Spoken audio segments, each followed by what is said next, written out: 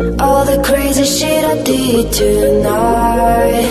Those will be the best memories. I just want